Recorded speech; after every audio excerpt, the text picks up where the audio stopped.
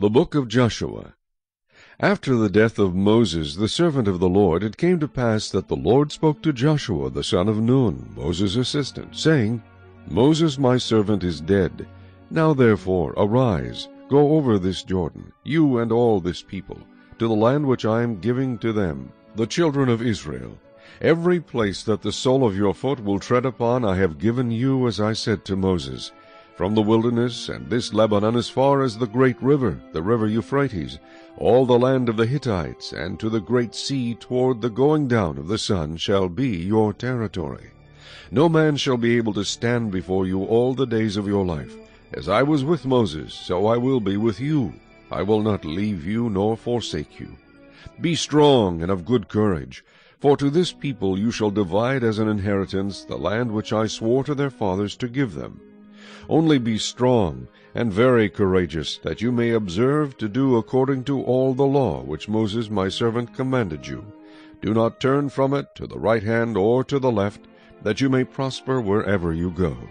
This book of the law shall not depart from your mouth, but you shall meditate in it day and night, that you may observe to do according to all that is written in it.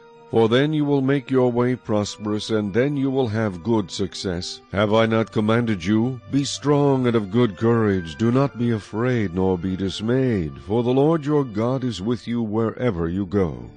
Then Joshua commanded the officers of the people, saying, Pass through the camp and command the people, saying, Prepare provisions for yourselves, for within three days you will cross over this Jordan to go in to possess the land which the Lord your God is giving you to possess.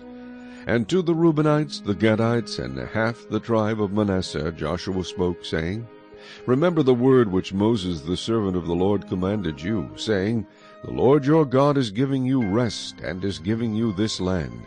Your wives, your little ones, and your livestock shall remain in the land which Moses gave you on this side of the Jordan.